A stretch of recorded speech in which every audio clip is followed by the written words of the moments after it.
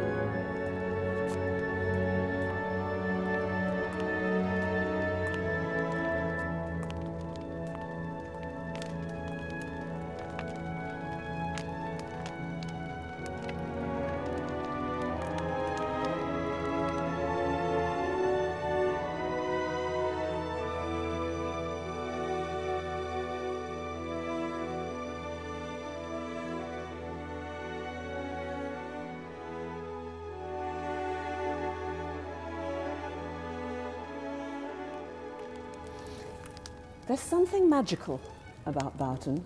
It seems timeless, not that big, pretty much unchanged since it was transformed at the end of the 17th century. A jewel box set in the Northamptonshire countryside, and every compartment of that jewel box is stuffed with treasures. It's exactly as Ralph Montagu intended, England's answer to Versailles.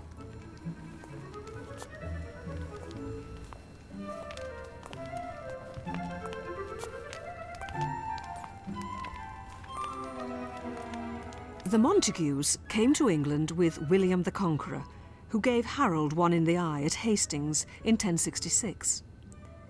But the story of Boughton starts with Sir Edward Montagu, who bought this land in 1528. He was Chief Justice of the King's Bench and an executor of Henry VIII's will. Sir Edward built a great hall, part of which survives under the later alterations, but so much was changed by his successors that we don't really know what Edward's house looked like. The most dramatic changes were the work of Sir Edward's grandson, Ralph, who was to become the first Duke. He was ambitious at court, and that ambition won him the position of ambassador to France in 1666. He was in awe of the French king, Louis XIV, and astonished by the palace at Versailles. And he conceived the idea of building a copy at Boughton.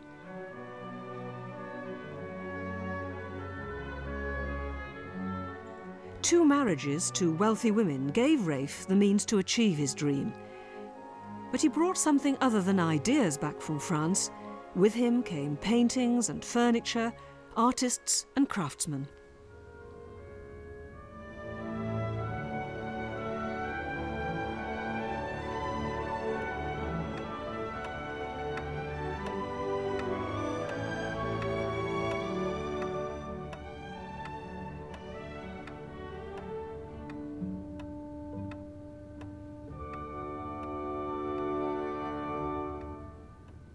Today we would say of Ralph that he had an eye for beauty. But it may be that in the second half of the 17th century there was an embarrassment of riches from which to choose. Boughton contains English tapestries from Mortlake, cabinets by the very best of French craftsmen, paintings by the Flemish artist Sir Anthony van Dyck and the English court painter Thomas Gainsborough, mirrors by Daniel Marot, and some of the earliest carpets to have been woven in England. It is, quite simply, stunning. Today, Boughton is owned by the Duke of Buccleuch. Not because it has ever been bought or sold, but because in one of those complicated stories of English family descent, the Montagus became linked to the Scots of Buccleuch by marriage. So two great estates, consisting of magnificent houses in Scotland and in England, came together and have stayed together for 250 years. Well, look at this. what does one say about this? This is a heraldic device and a, and a half, isn't it? It's just, it certainly is. Please don't ask me to try and decipher oh, it. why not? Let I it would go on. Have a go. completely lost. I would get completely lost. But what I can tell you is that this is one of really quite a large number of chimney pieces in the house. Uh, and uh, the Montagu Dukes, that's Rafe and John, um, were completely obsessed by their heraldry and they were fascinated by uh, their descent. Uh, and they longed to be able to trace themselves back. And I think they did so successfully uh, to ancient and grand people from the past. And uh, in particular, here at Boughton, uh, they traced themselves back uh, to Queen Eleanor, the uh, wife of Edward I. We're talking now about the 1290s she died in. Um, and they wanted to do that because one of the memorial crosses which marked the passage of her, uh, of her body when she died back to London is nearby.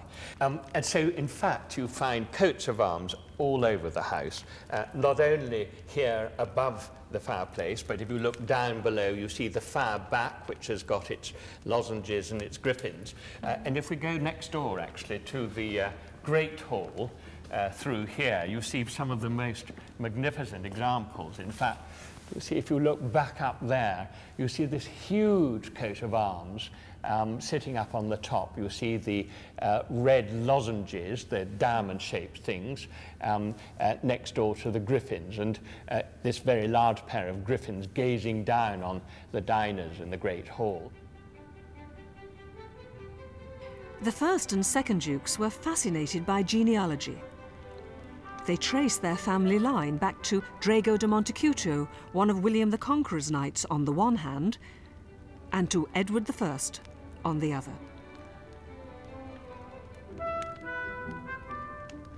Both the dukes were determined to celebrate their lineage.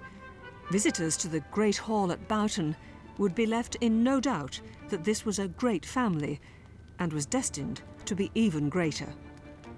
So Sir Edward Montagu is here, wearing his chain of office as Chief Justice. Above the fireplace is James Scott, the first Duke of Monmouth and Buccleuch. Elizabeth I has a privileged position. A portrait shows her in the 37th year of her reign, 1595. And alongside her are the Earl and Countess of Southampton. She, the Queen's lady in waiting, he, the patron of William Shakespeare. It's the story of the Montagus, intertwined with the history of England, and it's all crowned by a carved coat of arms so big that no one who lingered here could doubt the importance of this family.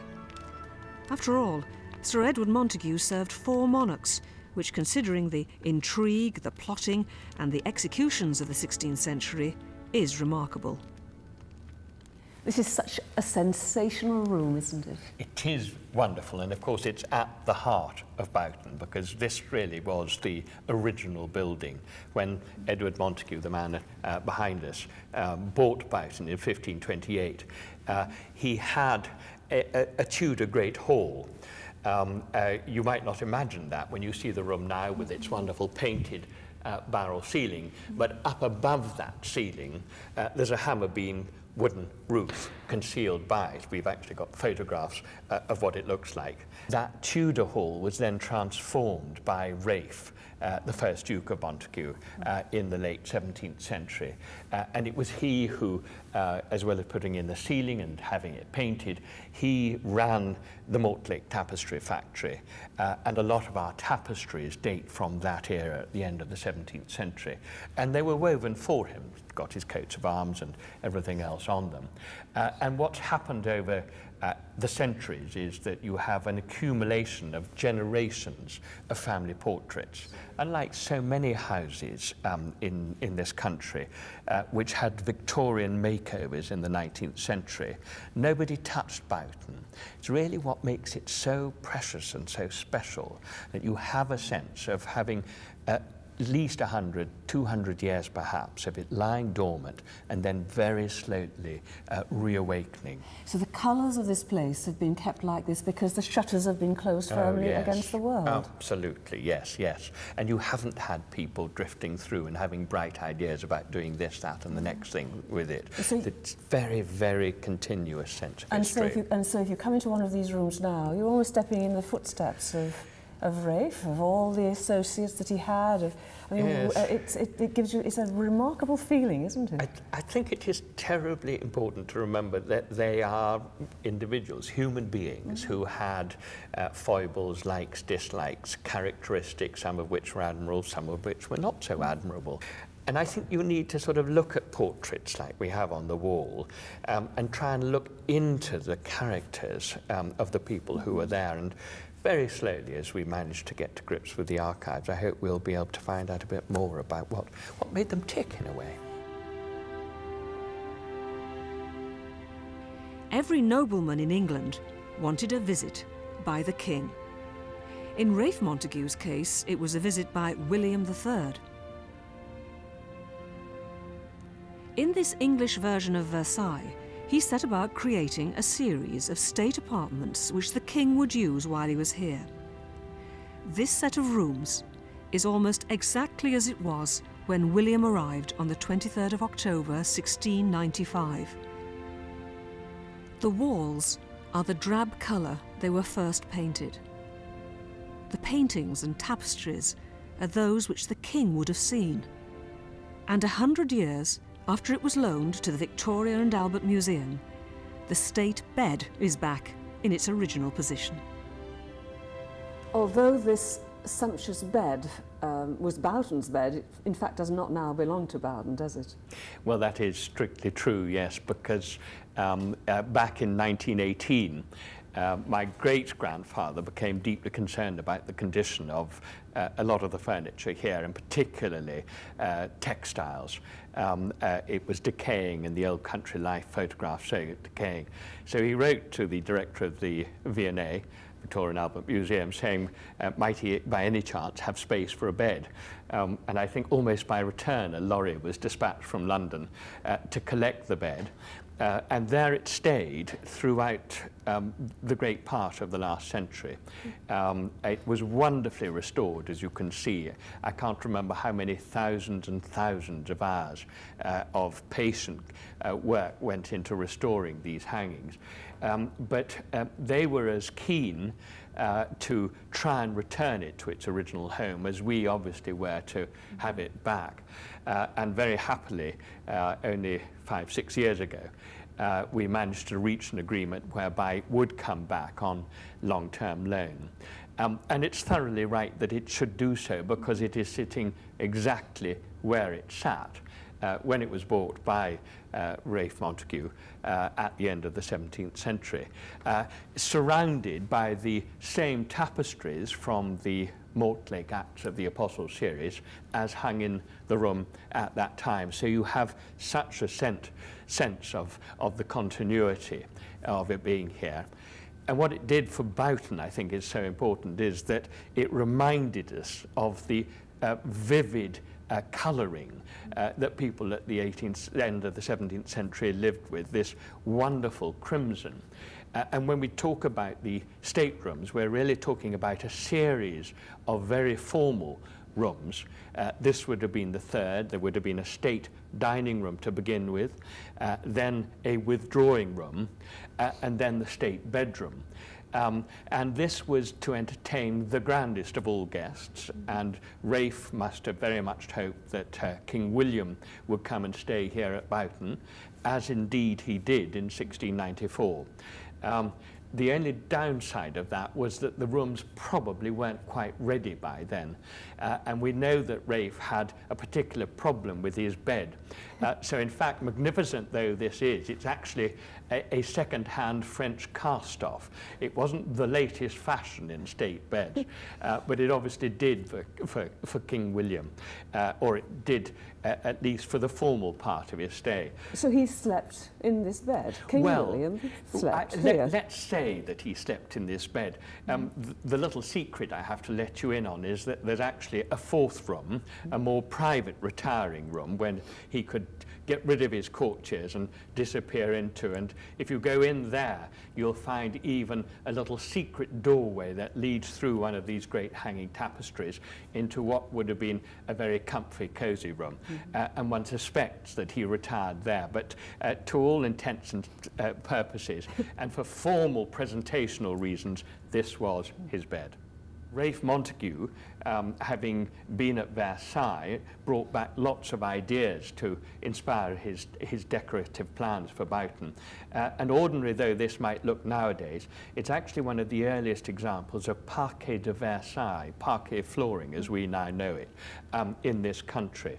Uh, and in fact, it would have been so special uh, that the rugs which nowadays we uh, lay out, the wonderful rugs we have in these rooms, uh, would not have been on it. Visitors would have been admiring that.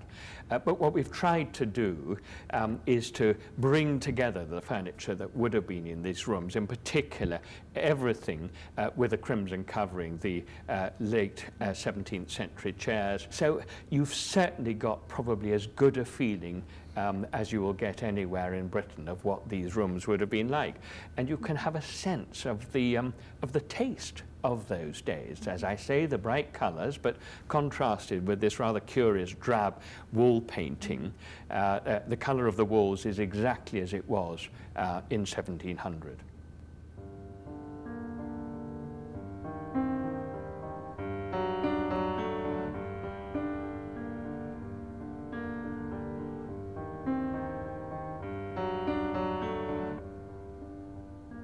This is not Blenheim or Chatsworth with their great halls and huge spaces. Boughton has something else, an intimacy that is thrilling. The present Duke's father, who died in 2007, spoke of the atmosphere in this house. He was intoxicated by it and by the blend of fragrances that exude from the panelling the dust in the tapestries, the oak logs in the great fireplaces, the new mown grass on the south lawn, ticking clocks, wind whistling through the ancient window frames, and row after row of family portraits of men who knew what it was to employ those who worked their land. Originally, this room would have been used by members of the family to promenade in wet weather, but later it came to be known as the audit room. Boughton had 17,000 acres of land in the 18th century, and tenants would gather here every Lady Day to pay their rents. But the great glory of the room is this gaming table. It's nearly 40 feet long, and you used to be able to play a form of shuffleboard on it. We know from the ledgers that the estate carpenter made it for three pounds, seven shillings and fourpence. This room tells a story in oil paintings of the history of the Montagu family. There's Rafe, of course, first Duke, next to his wife, the sensuous Elizabeth. She'd been married twice before, but it didn't stop him chasing her round the continent before she agreed to be his wife. Sadly, Elizabeth died in childbirth when she was just 40, but he went on to marry again. They say he was quite a catch, but he doesn't look much of an oil painting to me. One man has been writing about Boughton for years and wondering, like me, why more people don't know about this hidden treasure. Marcus Binney, architecture correspondent of The Times, author and former editor of Country Life, believes that Boughton is in a league of its own.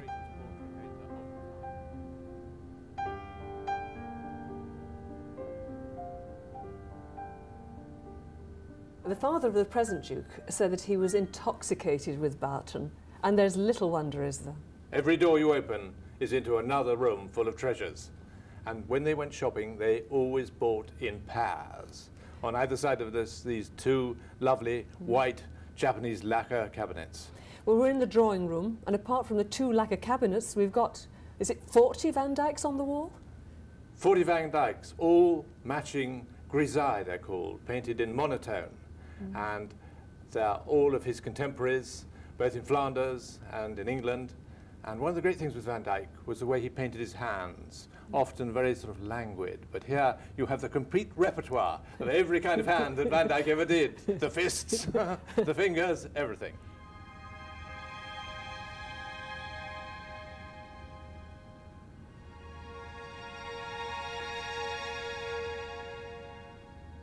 Van Dyck was the greatest portrait painter of the time. Rubens was practically the richest painter who ever lived, you know, who was his master. But then along came Van Dyck, who could charge as much as Rubens uh, by the end of his life. And of course, he died terribly young, this was the thing. So to have 40 Van Dycks is an amazing thing.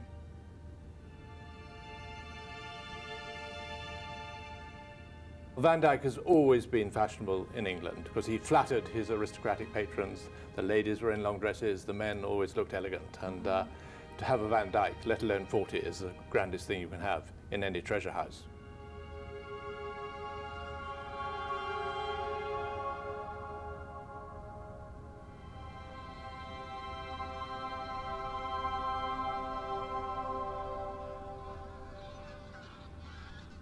It is a surprise among all the great houses. The others are wonderfully well known, but people 50 miles away from here may not have heard of Boughton, and this is what makes it this wonderful surprise. It has more atmosphere than any other great house you will see. You feel the generations, you feel the centuries, and everywhere there are treasures, grand and small. When Ralph Montagu died in 1709, Boughton was already full of treasures. But his son found room for more.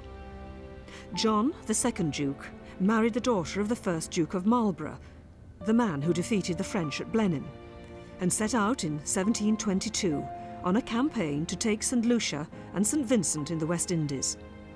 He failed, but the evidence of his interest in arms and armour was later displayed at Boughton and survives intact.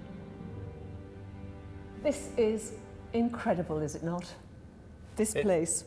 It's the finest private armory in the original house of the family. a, a, a, a mixture of Montagus and Scots, f- warring peoples, and this is what they had. Clansmen, Highlanders, Yes. regiments. Yeah, this was both hunting and war. So we have swords from the 18th century, we have guns from, from the same era, don't we? I mean, the remarkable, remarkable guns. Flintlocks, pistols, every weapon which you could get if you were a very rich nobleman, and you could have beautifully engraved uh, shotguns and then fantastic swords, uh, wonderful displays of swords here that they arranged them in fans and in great circles. And this was the traditional way in an armory of showing off your immense collection. And even this. You're going to tell me about this because this is a remarkable machine as well, isn't it? It's called a puckle gun. This is right. It's an early sort of Gatling machine gun, but you know, years, decades ahead of its time, and it fired round bullets for Christians and square ones for Turks. he had six of them made for a, a disastrous expedition to invade the Caribbean island of St. Lucia and take it from the French. Well, anyway, neither of the bullets worked, the round ones or the square ones. So, anyway, he brought the guns back, and so it took another hundred years to get St. Lucia, but here's the gun. And it's surprising, is it not, that he's kept everything, or the family have kept everything, right down to the very last tiny little pistol for foot pads, I noticed. You know, you have a pistol to shoot someone who attacks you in the street. But they kept them. Well, of course, in the great treasure house, you don't have to throw things away. There are cellars, there are attics, there are storerooms and strongrooms. So these are just put into boxes. And, but of course, they always were proud of the armory, so it's been in different parts of the, the house in different centuries.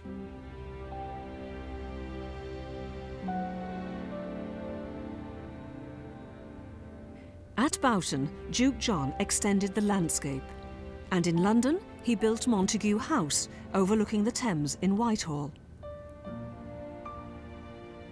It was one of the many houses the family owned. Yet for some curious reason he never completed Boughton. Which is lucky for us, because the unfinished wing gives us an opportunity to see how Boughton was built 300 years ago.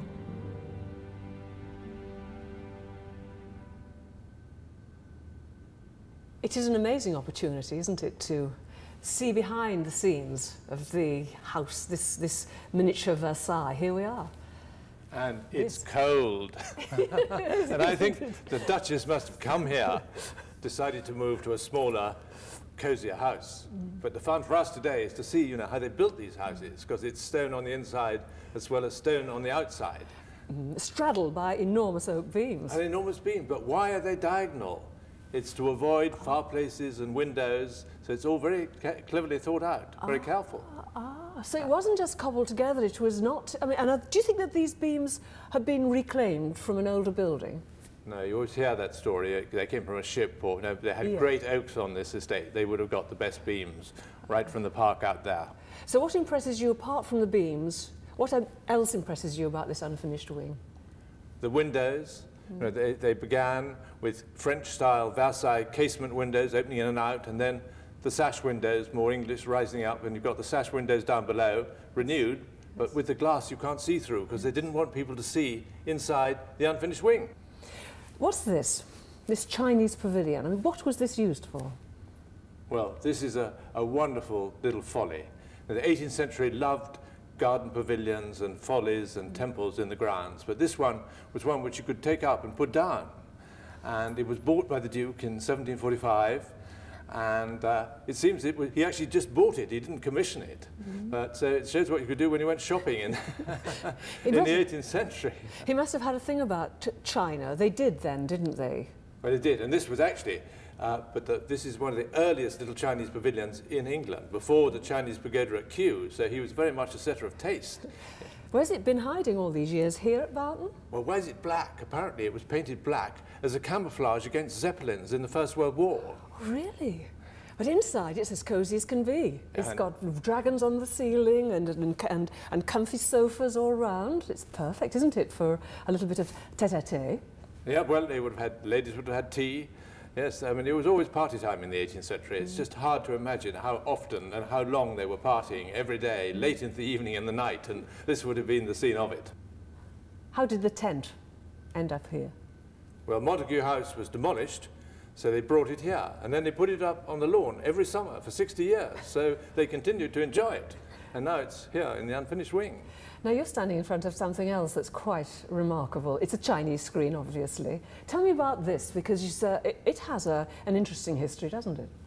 Well, it was only discovered a year ago in the steward's room. And this shows, you know, these treasure houses always have more treasures to find. And this is a, a real Chinese screen, not a piece of chinoiserie made in England, but actually came from China, this beautiful lacquered screen. And the fun about it is, it looks like the Imperial Palace in, in Beijing, but in fact, it's just, I think, a grand nobleman's house. But you look at the lines of, of people bringing him gifts, you know, queuing up, and then the, the musicians entertaining them, bands, and then not only wives, but concubines, mm-hmm. children, all these different wives playing. You go today to, to Beijing and you see it full of tourists, but here you see who was living here originally. And here is this, the procession, here, two by two they're coming. Oh, and here he is sitting in grandeur in this, mm. under this canopy. They're all bowing before him. And wonderful dancers just in front entertaining people.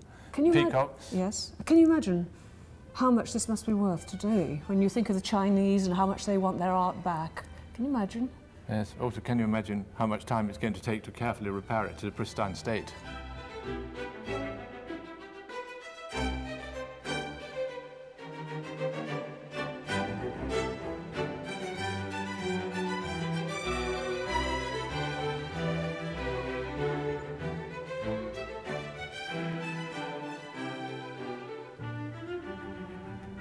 London, Montagu House, where the Chinese pavilion could be seen on the lawn every summer, has long since been demolished.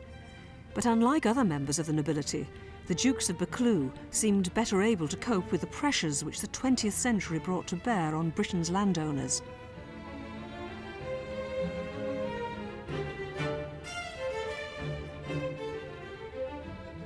Boughton sailed on regardless. The seventh Duke started a process of conservation at the start of the 20th century. The eighth and ninth, the present Duke's father, followed suit,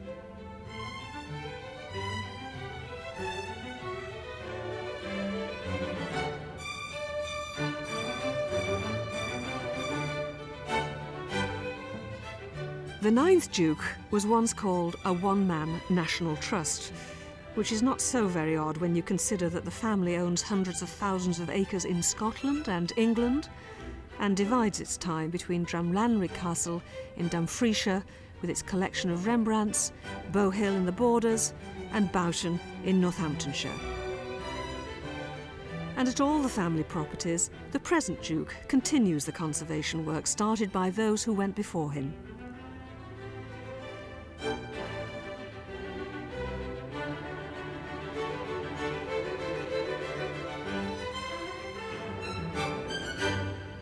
Such a magnificent treasure, isn't it? Well, it is glorious, isn't it? Uh, it's very rich and very ornate, and it's looking even more wonderful uh, since a, a, a conservation program which took place two years ago, um, uh, when it was almost literally taken to pieces. The conservation is necessary with this sort of furniture. It's a cabinet by André Charles Boulle, uh, because this wonderful uh, metalwork, marquetry as it's called, um, with time begins to spring out. Mm -hmm. um, and it's absolutely vital uh, to, to reattach it so that it doesn't tear, tear away. And if I open the door, you will actually find inside the evidence of the person for whom it was made. Uh, you look up here and you'll see a coat of arms. Uh, and this is the coat of arms of a man called Colbert. Um, he was an Archbishop of Rheims. Uh, you can see his cardinal's hat there. Um, and Colbert um, lived uh, at the end of the 17th century. We believe he died, I think, in 1707. Um, and what's been wonderful about the uh, process of conservation on this piece is that it's enabled a little bit of detective work to happen uh, simultaneously.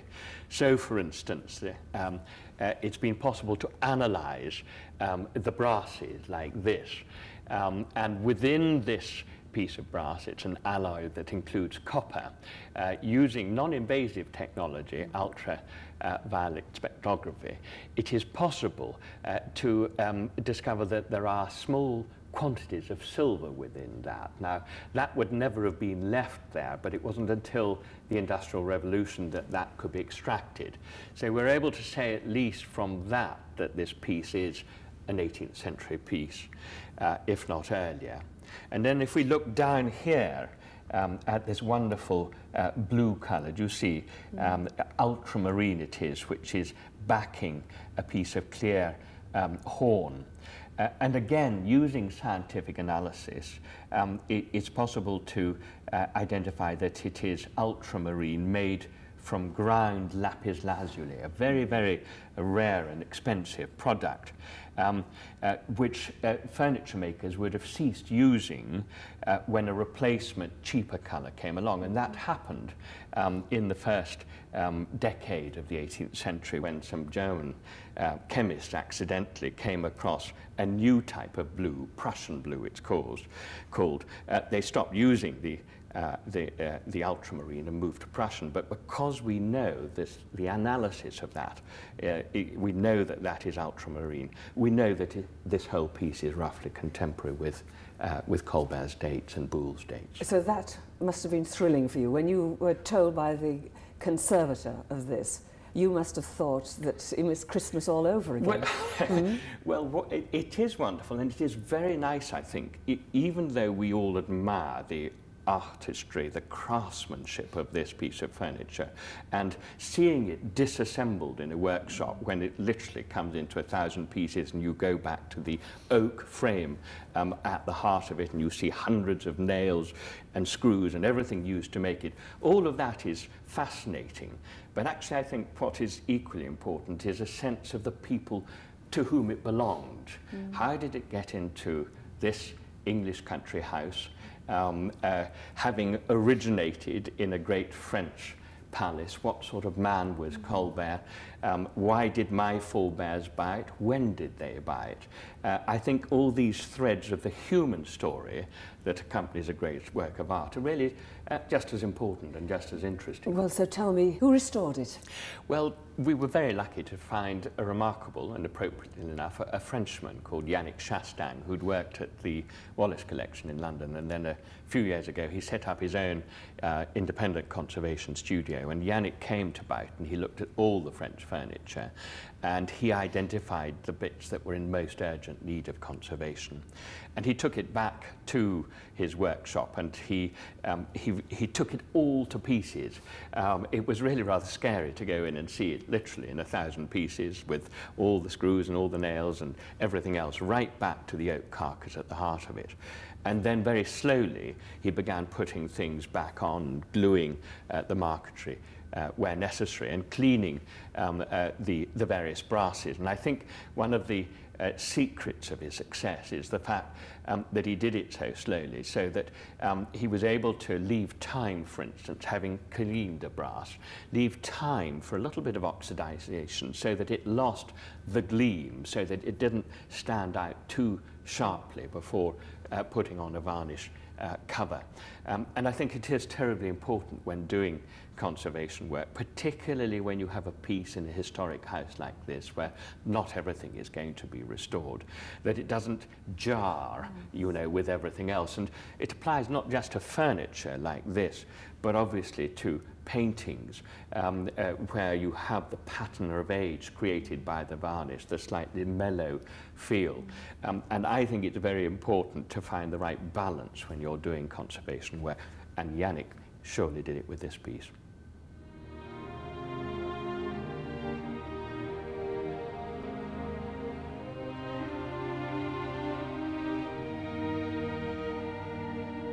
We have our forebears to thank, generation after generation, for what they collected, what they added to the collections um, over 300 years. Um, and very slowly, my wife and I, we're beginning that process again of trying to uh, uh, renew, so to speak, uh, uh the, the, the art collection and the landscape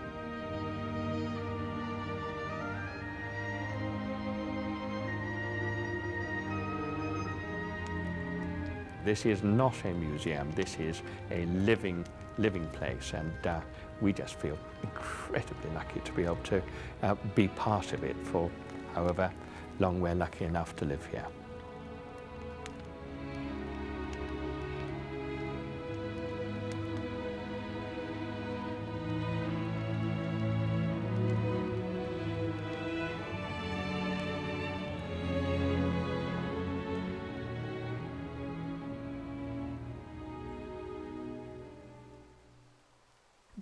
Is ravishing, all the more so because you feel you're discovering history at every turn.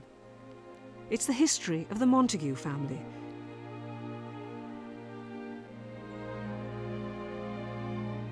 But it's also our history. The Scotts, the Montagus, the Buccleuchs, their names ring down the ages, and the houses and treasures they built and collected are part of the fabric of the nation something which successive dukes have recognised.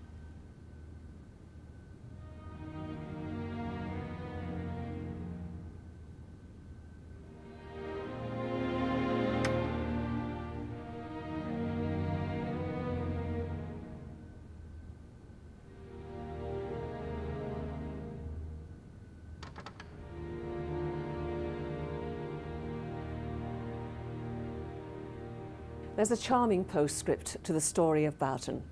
Other dukes might be tempted to live with the furniture and silver and paintings amassed by their ancestors through the generations. After all, you can make it a life's work conserving some of England's finest houses. But the Duke of Buccleuch was determined to add to his collection. Last year, he commissioned this harpsichord by the English instrument maker Andrew Garlick. It looks as though it's always belonged here in the morning room and it's proof, if proof were needed, that Boughton continues to be one of the treasure houses of Britain.